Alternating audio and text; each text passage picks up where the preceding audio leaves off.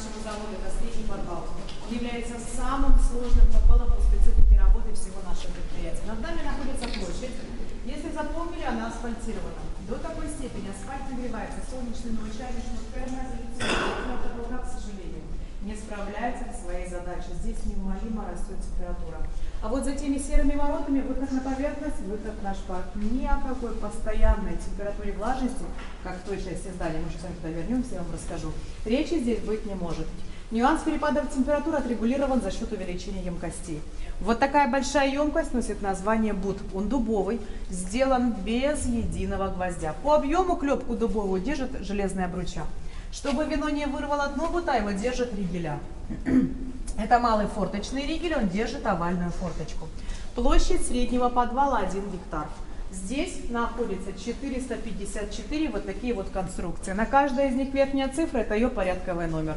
Нижняя – объем бута в декалитрах. Раньше в старину вина мерили ведрами. Одно ведро было 10 литров, сейчас никаких ведер. Не те объемы, чтобы можно было померить наши вина ведрами. Единица измерения для вина – это декалитр. Приставка дека означает 10. Один декалитр равен 10 литрам.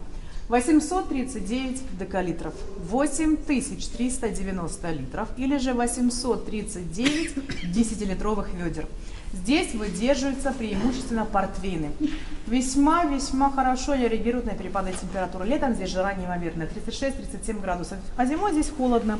Но именно вот эти перепады температур, давление, влажности проявляют такие вкусовые качества наших портвейнах, как бархатистость и элегантность. И, собственно говоря, этими вкусовыми качествами так славятся наши массандровские портвейны. На дегустации обязательно белый и красный вы продегустируете. Попадают портвейны через узкие верхние шпунтовые отверстия под воздействием сил насоса под давлением. Срок выдержки портвейнов не менее трех лет, но это вовсе не означает, что все три года в одной и той же стационарной емкости будет находиться одна и та же марка вина. Систематически, абсолютно всем винам, без исключения, необходимо придавать движение, обогащать кислородом.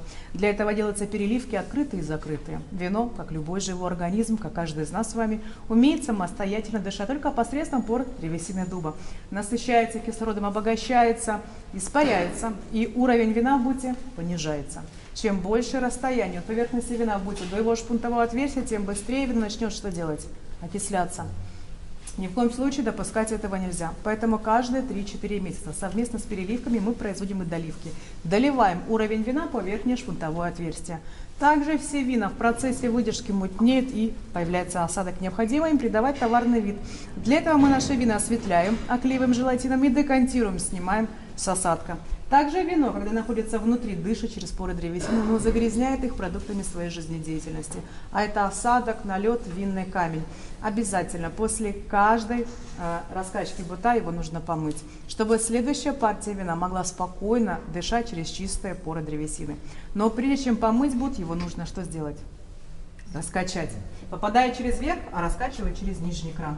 Его открывает, вставляет шланг, он заходит в насос. Из насоса еще один шланг, который подключит к винопроводу. Это сосуды нашего завода. Не думайте, что мы наши вина носим в ведрах или же в бочках, катаем самостоятельно по винопроводу. Вино идет туда, куда его направил технолог. Это еще советских времен стекло замечательно служит, нет необходимости менять. А когда пойдем на верхний подвал, я вам покажу, что там уже винопровод заменен на пищевую нержавейку. После каждой прогонки вина по винопроводу его помоют водой с каустической содой, с антифармином или с другим дестрессом, который выберет технолог среднего подвала.